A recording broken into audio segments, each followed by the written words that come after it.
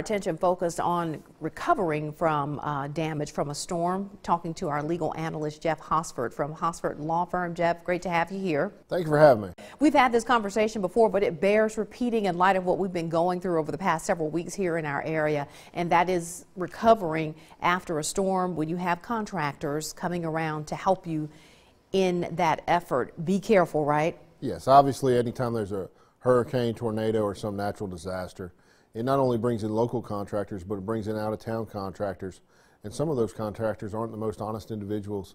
So, what I would tell anyone is to verify that they have a license and get some background information about who you're working with and what they've done in the past.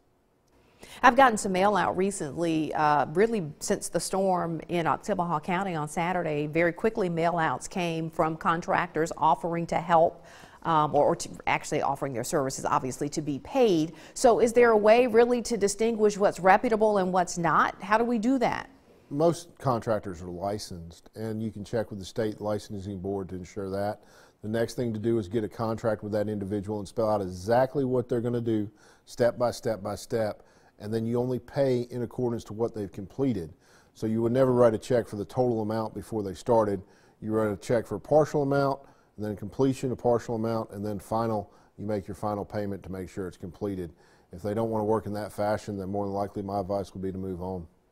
Turning over a check from your insurance company, always a no-no. Obviously, turning over the whole check, it, to me, would be a very bad idea um, because then they just could run off and there's really not much you could do except chase them.